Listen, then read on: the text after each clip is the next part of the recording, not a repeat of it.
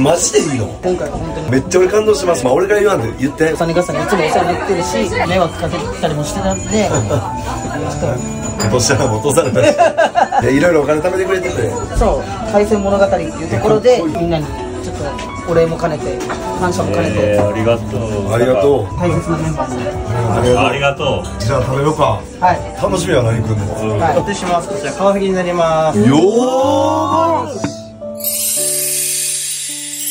失礼します。アジのお作りです。来た来た来た。マジだ。そう失礼します。エビシャウです。うわ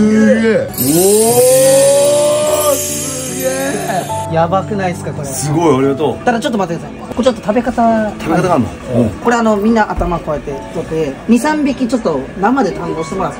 生でいけんの？こいけますいけます。取った頭をこのまま出汁に入れてくださいさっき全部頭取って出汁に入れんや。はい。ええすごい。なエビかエビの出汁がそうそうそうそうそう。でそれ以外は全部しゃぶしゃぶして食べてください。ああすげえありがとう。大好きうわ。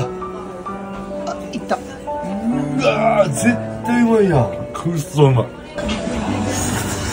そうしたうん入れた瞬間甘いうまごめんな手で。いや全然全然。どうすか？うまい。震えるぐらいうまい。てかごめんこの出汁がこのエビの頭から全部出ててですよね最初の。言ってたやつな。頭のね。震える。